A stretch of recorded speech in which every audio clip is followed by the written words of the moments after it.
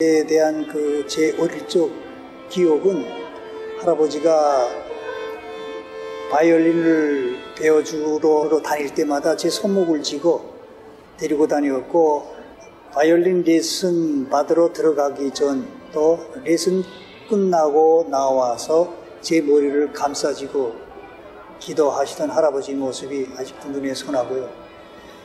우리 고모나 이제 아버지한테 좀 우리 집안은 대대로 그 예수쟁이 집안이었다고 그런 그 기억이 있습니다. 그리고 할아버지의 그런 기도 덕분에 그런 또 믿음의 그런 씨앗을 제가 오늘 이렇게 또 그런 하나님의 나라에서 이렇게 마음껏 신앙생활을 할 수 있었다고 생각을 하고요.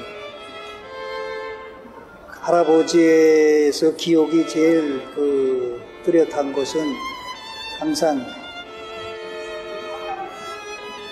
식전 기도를 비롯해서 예, 기도의 꾼을 놓지 않으신 그런 기억이 제일 있습니다. 북한 정치 하에서 철저하게 종교가 탄압되고 있지만 예, 할아버지는 하늘나라 가기 전까지 항상 기도로 저희들을 키웠다고 저는 그렇게 믿고 있습니다.